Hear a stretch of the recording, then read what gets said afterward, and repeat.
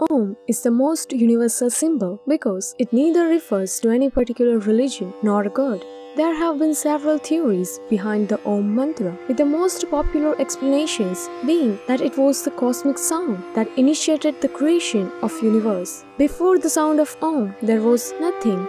It's both sound and a symbol, rich in a meaning and depth. When pronounced correctly, it's Om. As far as the physical symbol of Om in Sanatan Dharma represent false state of consciousness, the lower left curve represents the conscious, awaking state of being. The top left curve is the unconscious state. The lower right curve is the dream state, the state between the waking and the unconscious. The semicircle at the top is the Maya state. Maya means illusion, the biggest obstacle to spiritual development. The dot at the top represents the absolute state. It's the highest state of consciousness, the ultimate state of a spiritual bliss when you can be.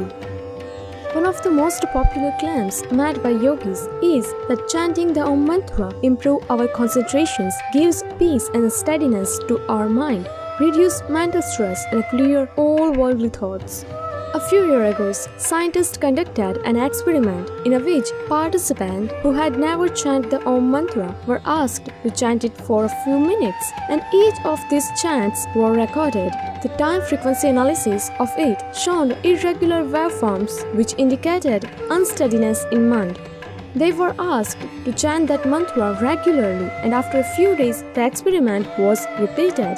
The time frequency analysis this time had some startling revelations. The waveforms were improved with the regular spacing, had almost a perfect symmetry and harmony. Not only had this participant witnessed dramatic improvement in a focus, concentration, and steadiness, but found themselves to be in a peace, witnessed a reduction in a mental stress, and could remain calm all the time.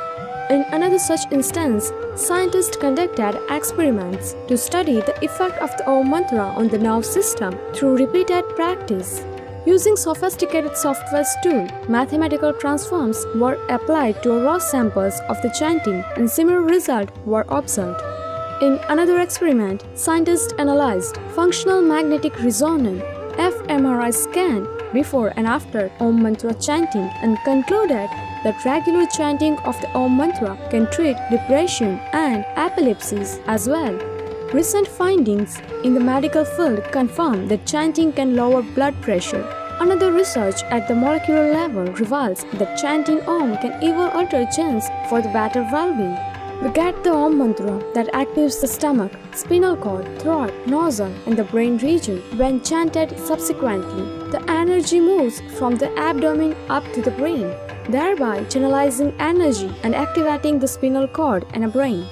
So, the modern technology and science confirm what ancient yogis knew about the healing power of Om.